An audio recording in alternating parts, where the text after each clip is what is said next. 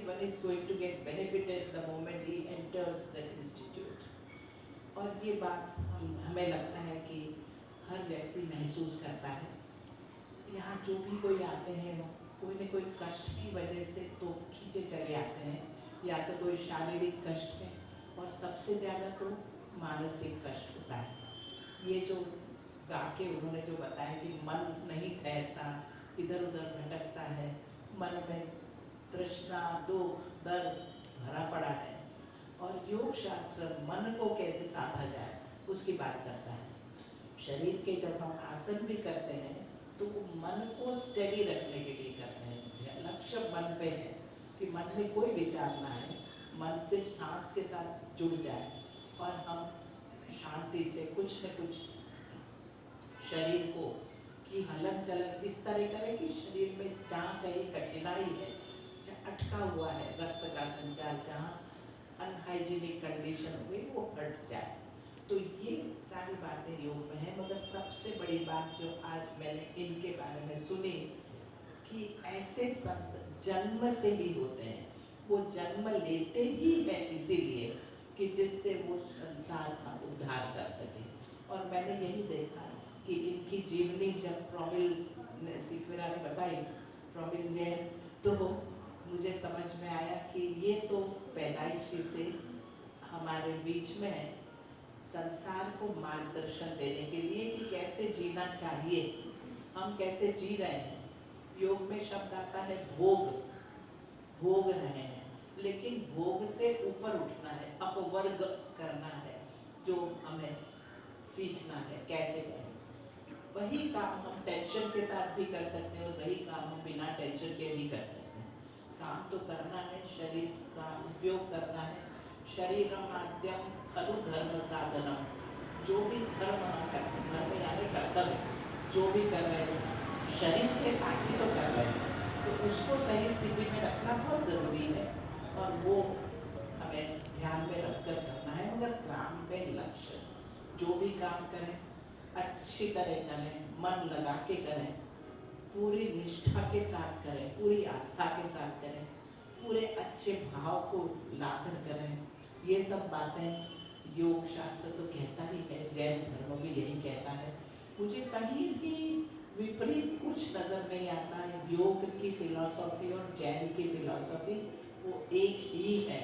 और इसीलिए हमने सोचा कि अगर आप सब जैन का प्रचार जैनिज्म का तो कर ही रहे मगर योग का ही प्रचार हो रहा है, क्योंकि वो एक ही बात है। और इसीलिए आप अगर यहाँ पधारे तो वो बहुत ही अच्छा रहेगा। और आपने हमारी विनती स्वीकारी और आप यहाँ आए, आपने उल्टा कहा कि आपको आना है, और हमें बहुत ही अच्छा लगा। तो अब मैं तो कीन हूँ उनको सुनने के लिए, और आप भी मन को केंद्रित करके, मन को एकाग्र करके उनकी वाणी सुनिए। बाहर आवाज़ें आती रहेगी। जब ये ज़मीन ली थी तब यहाँ एयरपोर्ट नहीं था। एयरपोर्ट सामने वेस्ट में था। ये जंगल। लेकिन वो जंगल में मंगल हो रहा है और मंगल ही करते रहेंगे। और, बाहर की आवाज़ पर ध्यान नहीं जाना चाहिए। ध्यान उनके शब्दों पर जाना चाहिए। उनके प्रति जाना चाहिए। तो कोशिश करें। All of us should really fix our mind and focus what he is trying to speak. You may not understand, but then try to just have a feeling of what he is speaking. So, thank you for all of you.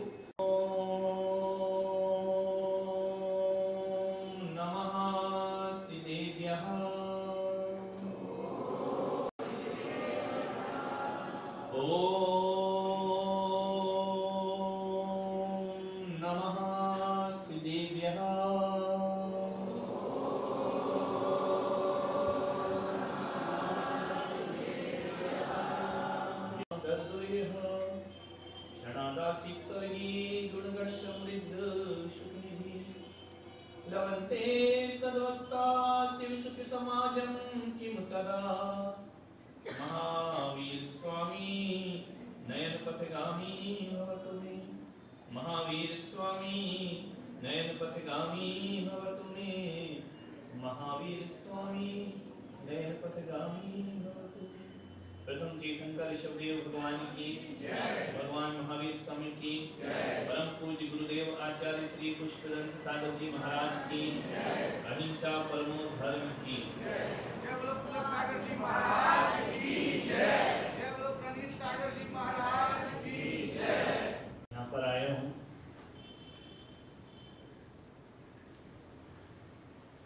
और यहाँ इसलिए आया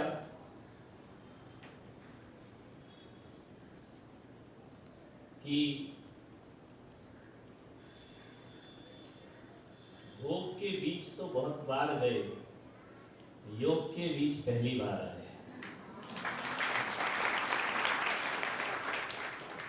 भोगियों को तो बहुत समझाया। आज योगियों को समझाने का नहीं, समझने का अवसर आया है।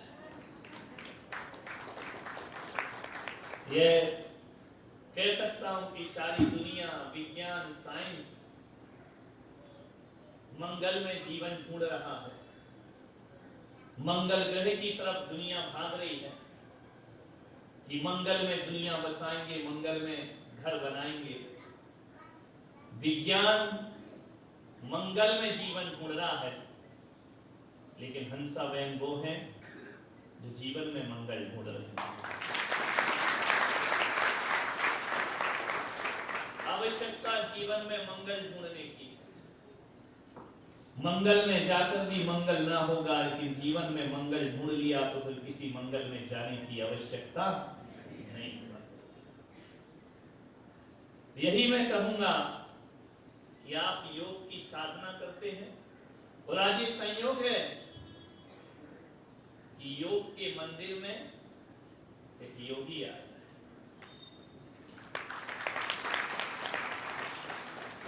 और संयोग भी देखो, मेरी भी साधना वही है। मैं अध्यात्म को लेकर चलता हूँ, आप जीवन को लेकर चलते हो। लेकिन एक बात ध्यान रखना हमारा योग अलग योग है, आपका योग अलग योग है। लेकिन अलग अलग होने के बाद भी यदि परिणति देखोगे तो आप भी वही हैं और हम भी वही हैं। मेरा योग है देह और आत्मा को अलग करने की प्रयोगशाला। मेरा योग है क्षीर और नीर को अलग करना, और आप जानते हैं क्षीर और नीर को जो अलग करता है वो हंस कहलाता है और यहाँ हंसा मौजूद है। और को अलग करने की ताकत करते हैं। वो हंस होता है तो मैं कह सकता हूँ कि यहाँ आने के बाद जब हंसा बहन मेरे बाजू में बैठी हैं वो हंस हैं तो हम परम हंस आज बन गए। बहुत से मज़हब हैं दुनिया में बहुत से दर्शन हैं। बहुत सी सोच है, बहुत से विचार हैं, बहुत से संप्रदाय हैं, बहुत से मत हैं। लेकिन भारतीय मनीषा कहती है, भारतीय दर्शन कहता है, भारत का अध्यात्म कहता है कि जिस धर्म के पास योग ना हो, जिस धर्म के पास प्राणायाम ना हो, और जिस धर्म के पास ध्यान ना हो, भारत उसे धर्म नहीं माना करता है। वो एक पूरी कल्पना हुआ करती है। वो एक काल्पनिक विचार हुआ करते हैं, वो किस्से और कहानियों की एक पुस्तक हुआ करती है। लेकिन भारतीय दर्शन, चाहे जैन दर्शन हो, चाहे बौद्ध दर्शन हो, चाहे वैदिक दर्शन हो, बिना योग के ये दर्शन अधूरे हुआ करते हैं। इन दर्शनों में धार्मिक आस्थाएँ नहीं हुआ करती हैं। तो आज मैं यदि आया हूँ तो अलग नहीं हूँ। हाँ ये बात अलग है कि आपने बहुत से साधु देखे होंगे। उन सबसे हम थोड़े से अलग हैं। हमारा वेशभूषा ही अलग है, हमारा सोच अलग है। कई लोग बैठे होंगे, सोच रहे होंगे, ये कपड़े नहीं पहनते हैं, ये नग्न रहते हैं। ये भी योग साधना हुआ करती है। ठंडी हो, गर्मी हो, बरसात हो, ठंड में भी वस्त्र नहीं डालना, गर्मी में भी ऐसे ही रहना, बरसात में भी ऐसे ही रहना। ये भगवान महावीर का योग है, ये भारत का एक दर्शन है। जहाँ पैदल विहार करना दिगंबर संत की साधना होती है। और हम वो लोग जो अंजलि भर भोजन लेते हैं, हाथ की हमारी थाली है और हाथ ही हमारी प्याली है। हम थाली में भोजन नहीं करते और गिलास से पानी नहीं पिया करते हैं। धरती पिछाना और अंबर ओढ़ लेना, यही हमारी साधना हुआ करती है। और दरी मुट्ठी भर लेना और दरिया भर लौटा देना, ये हमारी योग साधना हुआ करती है। अभी मैं बैठा था कक्ष में किसी ने कहा, महाराज, ये योग इंस्टीट्यूट है, यहाँ पर जब भोजन मिलता है साधकों को तो उसमें मिर्ची नहीं हुआ करती। अरे, बिल्कुल सादा भोजन मिलता है। मैंने कहा, अच्छी बात है, इतना सादा भोजन तो जिनके यहाँ मिलना चाहिए, उन जैनियों के यहाँ नहीं मिला करता है। जितनी सादा भोजन यहाँ मिलता है, सादा भोजन, उच्च विचार यही योग का सूत्र हुआ करता है। याद रखिए, हम तीन चीज़ हमारे साथ है। इस शरीर और आत्मा को जोड़ने वाली कोई बीच में कोई तत्व है तो वह श्वास का तत्व जो देह और आत्मा को जोड़ के रखता है, जो देह और आत्मा को बाँध के रखता है, और यदि वह श्वास रूपी तत्व टूट जाए तो देह और आत्मा को अलग होने में ज़्यादा वक्त नहीं लगा करता है। मन को जितना पकड़ोगे, मन हाथ से फिसल फिसल कर चला जाएगा। उसे जितना बांधोगे, मन उतना छूट छूट करके भागा करता है। नादान है वो लोग जो मन को बस में करने की बात किया करते हैं। सीधे मन को बस में करना चाहता है आदमी। मन इतनी जल्दी बस में नहीं हुआ करता है। मन को बस में करने की एक प्रक्रिया हुआ करती है। हमने तो अपने जीवन में इतना ही अनुभव किया है। हमारे पास तीन चीज़ हुआ करती हैं। एक शरीर हुआ करता है हमारे पास, एक मन होता है हमारे पास, और एक विचार होते हैं हमारे पास। तीन चीज़ों में हमारा जीवन चला करता है। मैं आपसे इतना ही आग्रह कर रहा हूँ कि डायरेक्ट मन से फाइट मत करो डायरेक्ट मन से झगड़ा मत करो डायरेक्ट मन पे आक्रमण मत करो। नहीं तो एक बात याद रखना, जिन जिन ने मन पे आक्रमण किया है, मन जीता है, आदमी हारा है।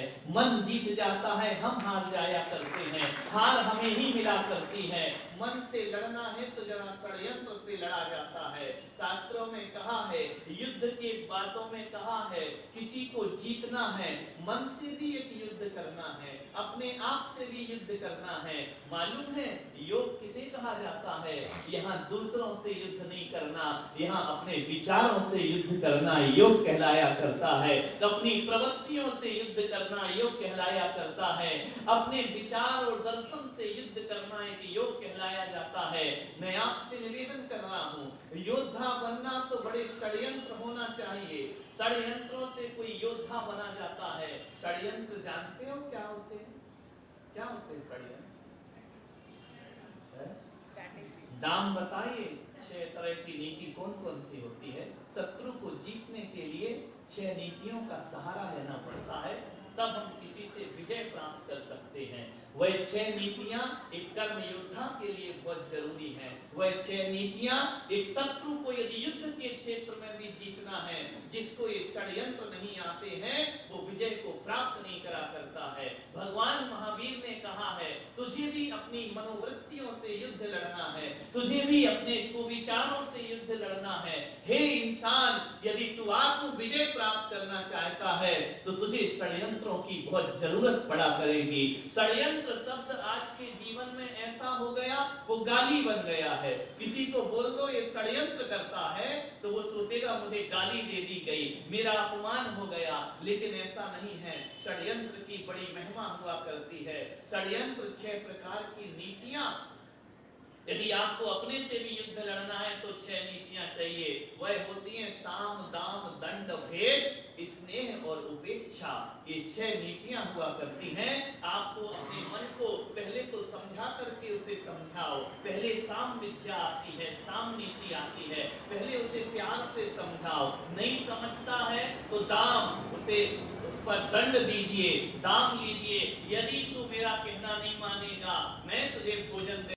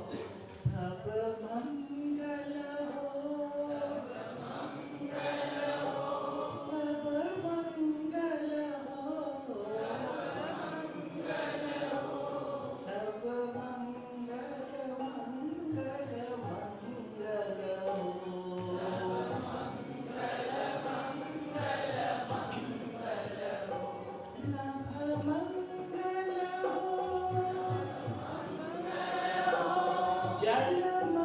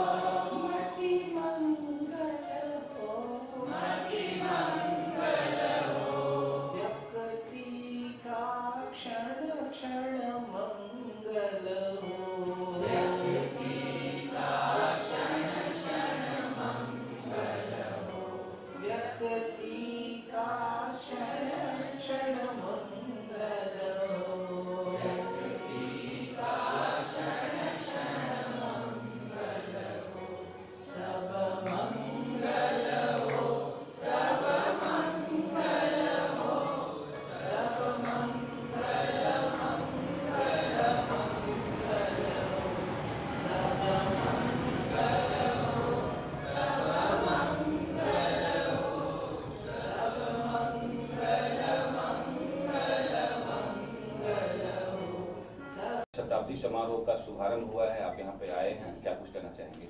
देखिए, मुझे बहुत खुशी हुई यहाँ पर आकर के, क्योंकि मैं ऐसे स्थान पर आया जहाँ योग साधना और प्राणायाम और ध्यान सिखाया जाता है। यही हमारे भी जीवन का लक्ष्य है, संत जीवन का भी यही लक्ष्य है। और आज इस इंस्टीट्यूट के सौ वर्ष पूर्ण हो रहे हैं। कह सकता हूँ कि शांति, प्रेम और युग का, नए युग का आरंभ हो रहा है। सौवा वर्ष पूर्ण नहीं हो रहा एक शुरुआत हो रही है। तो जो आज पूरे विश्व को जिस शांति की ज़रूरत है वह यहाँ पे उस शांति का संदेश दिया जा रहा है। यहाँ आने के बाद मुझे बहुत प्रसन्नता का अनुभव हुआ। एनी क्वेश्चन पूछ लो। काफ़ी मानते हैं और हमारे देश को अभी सर्वश्रेष्ठ माना जाता है योग के लिए। आप क्या कहना चाहेंगे? जो योग नहीं करते उनके लिए आपका क्या मैसेज है? देखिए, ऐसा नहीं है कि जो योग नहीं करते, वो अपना जीवन नहीं जीते हैं। जीवन तो वो भी जीते हैं। लेकिन एक मानवीय गुणों का यदि विकास करना है, ईश्वरीय गुणों को अपने जीवन में लाना है, आज यहाँ पूरी दुनिया बारूद के ढेर पर बैठी हुई है। ना जाने किस नेता का कब दिमाग घूम जाए और दुनिया नष्ट कर दी जाए, एक बटन दबाते। और बारूद के ढेर में बैठे हुए इस विश्व को बचाना है अमन शांति और चैन की स्थापना करना है। तो आज नहीं तो कल कल नहीं तो परसों परसों नहीं तो बरसों बाद। इस विश्व में अमन चैन जब भी आएगा, भारत के अध्यात्म से ही अमन चैन आएगा और भारत का अध्यात्म योग, ध्यान, प्राणायाम से ही स्थापित होता है। तो पूरे विश्व में अमन चैन का परचम फहराना है। तो योग को बल देना ही पड़ेगा। गुरु जी राम मंदिर पे आपका कुछ प्रक्रिया हो? रहे हैं राम मंदिर को लेके बहुत वातावरण का निर्माण हो रहा है और मैं तो इतना ही उसके लिए बोल सकता हूँ कि इतिहास को उठा कर के यदि देखो, राम मंदिर का जो विवाद अदालतों में गया है, वहाँ जाने की ज़रूरत नहीं है। हर आदमी एक कॉमन मैन को भी समझना चाहिए कि जो जिसकी जन्मभूमि हो, उसको दे दो। इसमें झगड़ने की क्या ज़रूरत है? बाबर की जन्मभूमि है तो उसे दे दो, राम की है तो राम को दे दो। गुरु जी एक आखिरी सवाल। कई लोग जो बॉलीवुड के एक्टर्स होते हैं, वो कहते हैं कि इस देश में उन्हें अभी डर लगता पूछना चाहते कि इस देश में उसने उन्हें डर लगता है। हिंदू, मुस्लिम का मुद्दा लेकर के आते हैं। लेकिन हमने तो ये भी देखा है कि जहाँ पर हिंदू कौम है ही नहीं, वहाँ भी उन्हें डर लगता है रहने में। पाकिस्तान में एक दूसरे को डर लगता है। किसी भी देश में जाओ, सबको एक दूसरे से डर लगता है। लेकिन एक बात याद रखिए कि डर कहाँ से लगता है? डर हम ही निर्मित करते हैं। यदि हम सही रहेंगे तो डरने की कोई ज़रूरत नहीं। हंसमा आप क्या कहना चाहेंगे आज? प्रोग्राम तो अब आगे है, लेकिन गुरुजी ने, इन्होंने जिस तरह की शुरुआत की है, वो बहुत ही सही शुरुआत है। अब हमें देश में हर व्यक्ति के मन से डर को हटाना है। डर तो अपन खुद उत्पन्न करते हैं। शांति भी हम उत्पन्न करेंगे, प्यार भी हम उत्पन्न करेंगे, और वही हमें करना है। जो हम डालेंगे, वही मिलेगा। जो बोया, वही पाया। तो ये कर्म का सिद्धांत हर व्यक्ति को समझना ज़रूरी है। इसलिए बहुत ही सही ढंग से, सही विचार के साथ में आगे बढ़ें। हर व्यक्ति जब अपना काम सही ढंग से करता है, मन लगा के करता है तो उसे किस बात का डर है? नहीं उसने किसी का मर्डर किया, नहीं किसी को गलत कुछ किया तो उसको किस बात का डर होना ही नहीं चाहिए। इसीलिए हम ध्यान रखें कि ये अपने ऊपर केंद्रित करें, अपना पूरा लक्ष्य, अपने को सही रखें, अपने को सुधारें, अपने क्लेश हटाएँ। अपने ये सब स्वार्थ हटाएँ तो अपने आप सुंदर हो जाएगा सब कुछ। इंस्टीट्यूट का जो समारोह हो रहा है वो आज से ही शुरुआत हुई है और उसके बाद में अब 28 और 29 को हमारा जो समारोह होगा वो M M R D A ground है जो बीकेसी में है बैंड्रा खुल्दा कॉम्प्लेक्स में। और वहाँ हम दो दिन प्रोग्राम रखेंगे और उसमें हम यही सब सिखा रहे हैं। और ये पूरे पूरे एग्जीबिशन होंगे वहाँ पूरे सौ साल में क्या क्या किस किस तरह के लोगों में जीवन में बदलाव आया है। ऐसे ऐसे व्यक्ति बदले हैं जो इस रास्ते का, आपको बताऊँ, गुंडा था वो लड़का। गुंडा था मार पीट के अलावा उसको कुछ नहीं आता था, और दारू पीकर गटर में गिरता था। वो बच्चा आज इतना अच्छा योग का टीचर बना है। कितने ही लोगों के जीवन को उसने बदल दिया है। कितने ही गुंडों को उसने अच्छे मार्ग पर ले आया है। ये सब उसने किया। और ऐसे ही बहुत सारे हैं हमारे पास कि जो डायबिटीज़ है। डायबिटीज़ तो ठीक हो जाता है, बहुत ही आसानी से। जो गलतियाँ करना हम बंद कर दो तो अपन सुधरने लगता है शरीर। हार्ट पेशेंट्स जो गलतियाँ करते हैं वो बंद कर दो तो वो सुधरने लगता है। तो वहाँ गहर नहीं है, मगर क्या शरीर निरोगी होने के बाद आप उसका उपयोग क्या कर रहे हैं? आप जीवन में कर्म क्या कर रहे हैं? वहाँ ज़रूरी है। तो वो हम सिखाते हैं कि आपका डायबिटीज़ पूरा तभी जाएगा या हार्ट पेशेंट सही तभी होगा जब आप सही कर्म करना शुरू करोगे। आप दूसरों के लिए जियोगे आप दूसरों के, के को प्यार बांटोगे। प्यार का मतलब कैरी जो आप लोगों के लिए जो कहते मैत्री करुणा मुदिता उपेक्षा ये योग के चार भाव हम बताते हैं और ये सब चीज़ें करना शुरू करोगे। तो ये करने लगते हैं और डायबिटीज़ हार्ट पेशेंट्स अपने आप ठीक होने लगते हैं।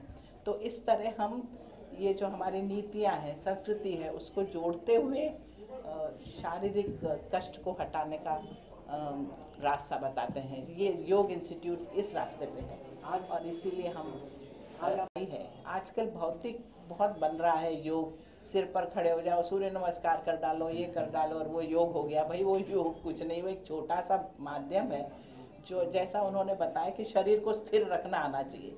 तो आसन का तो डेफिनेशन ही ये है स्थिर से सुखम इति आसनम। आसन मतलब जहाँ शरीर स्थिर है और सुख, सुखी है, आनंद में व्यवस्थित है, वो आसन है। तो अब लोग उसको अलग अलग ढंग से जब करने लगे तो अब ये मैंने किताब निकाली है।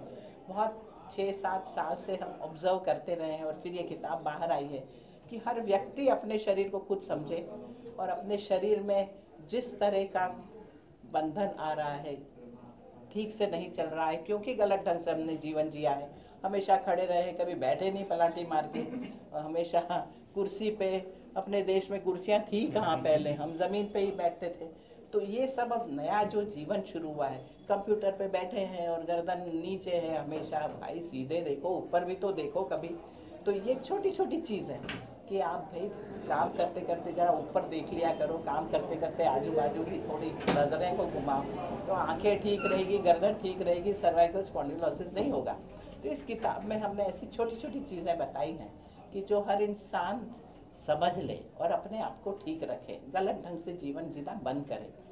अपनी ज़िम्मेदारी खुद अपने हाथ में ले। बूढ़े होकर हम वो बीमार नहीं होने वाले बुढ़ापा कोई बीमारी के लिए नहीं है। आपने अपना ध्यान नहीं दिया। अब ध्यान दो तो भी आप अच्छे ढंग से जी पाओगे। तो यही सब किताब में बताया गया प्रोग्राम में पहुँचे हैं क्या कुछ कहना चाहेंगे? सबसे पहले तो मैं इस बात को कहना चाहूँगा कि आप सभी लोग पधारे इस कार्यक्रम में। मीडिया का बहुत बड़ा हाथ है इसमें हम जो कार्यक्रम कर रहे हैं योगा इंस्टीट्यूट का जो शताब्दी महोत्सव है एक अपने आप में बहुत बड़ा महोत्सव है जिसने पहली देश का और दुनिया का पहला इंस्टीट्यूट है जिसने हमारे योगा इंस्टीट्यूट की शताब्दी महोत्सव मनाया जा रहा है इसमें। और हमारे पूज्य दिगंबर जैन परंपरा से भारत गौरव राष्ट्र मुनि पुलक सागर जी गुरुदेव इस कार्यक्रम में आज ओपनिंग की उन्होंने। बहुत ही अच्छा उनके जो, उनकी जो वाणी है, जो हज़ारों लाखों लोगों के जीवन को परिवर्तन करने में सक्षम है और हुई है। आदरणीय हंसा जी योगेंद्र, जो हमारे इंस्टीट्यूट की डायरेक्टर भी हैं और कई भारत में जितने भी योग से संबंधित चैरिटेबल ट्रस्ट हैं और भी कई संस्थाएँ हैं जो आयुष मंत्रालय का ट्रस्ट है तो उसमें हंसा जी की अहम भूमिका रहती है। तो आज वो भी इस कार्यक्रम में सम्मिलित हुई योगा इंस्टीट्यूट का। और सबसे बड़ी बात यह है कि आज आप लोगों ने कहा कि आज हमारे देश में कुछ लोग ऐसे हैं जिनको डर लग रहा है। मैं उनसे एक ही बात कहना चाहूँगा, आज इस शताब्दी महोत्सव पे, जिनको हमारे देश में डर लग रहा है उनको शायद ये पता नहीं कि भारत में और दुनिया में एक इंस्टीट्यूट ऐसा है कि यहाँ पर आ जाओ, सब डर भाग जाएगा यहाँ पर। तो यहाँ पर लाने की ज़रूरत है उनको। ये जो इंस्टीट्यूट में आ गया, उनको डरने की कोई बात नहीं है, क्योंकि यहाँ डर से डर से और योग से लेकर उनका जीवन समझ जाता है यहाँ पर। कई लोग आदरणीय हंसा जी योगेंद्र ने बताया कि हमारे इंस्टीट्यूट में ऐसे ऐसे भी लोग आते हैं, जिन्होंने अपने जीवन में कभी योग क्या होता है, दर्शन क्या होता है, भावनाएँ क्या होती हैं कभी जीवन में जिसे समझा नहीं, जिसने कभी जाना नहीं, वो यहाँ पर आए जो 24 घंटा ड्रिंकिंग में ही पड़े रहते थे, हमेशा कुछ दुनिया की सोच नहीं थी उनको। यहाँ पर आके उन्होंने ऐसा जीवन परिवर्तन किया कि हम समाज के लिए, देश के लिए बहुत बड़ा उदाहरण पेश किया उन्होंने। तो ये ऐसा इंस्टीट्यूट जो शताब्दी महोत्सव मनाया जा रहा है, जिसमें पूज्य मुनिश्री पुलक सगर जी महाराज ने आज इस कार्यक्रम में पधार कर उसकी शुरुआत कर दी है। और क्रम से हमारे इंस्टीट्यूट जो है, जिसमें अट्ठाईस उनतीस तारीख को यहाँ पर एक बहुत बड़ा महोत्सव कार्यक्रम हो रहा है, जिसमें हमारे देश के माननीय राम राष्ट्रपति रामनाथ कोविंद जी पधार रहे हैं, हमारे महाराष्ट्र के गवर्नर विद्यासागर जी राव जी पधार रहे हैं, हमारे महाराष्ट्र के सीएम देवेंद्र फडणवीस भी पधार रहे हैं, और भी तरह तरह के साधु संत अपने जो धर्म क्षेत्र में अग्रणी हैं, जो धर्म क्षेत्र में बहुत नाम है जिनका, वो भी इस कार्यक्रम में पधार रहे हैं, और देश विदेश से जो इंस्टीट्यूट 120 देशों में जिसकी शाखाएँ और लगभग स्टूडेंट हैं, वो भी इसमें शरीक होने पधार रहे हैं। ये बहुत बड़ा शताब्दी महोत्सव है। मैं चाहता हूँ कि पूरा देश इसको शिक्षा ले, पूरा देश अपने आप में एक गौरव का क्षण है। यही कहना चाहूँगा, सबके लिए बहुत ही अच्छा समय हुआ और बहुत ही अच्छी समय गुरुदेव का आशीष मिला। हंसा माँ का भी बहुत इसमें योगदान रहा। यही सब है।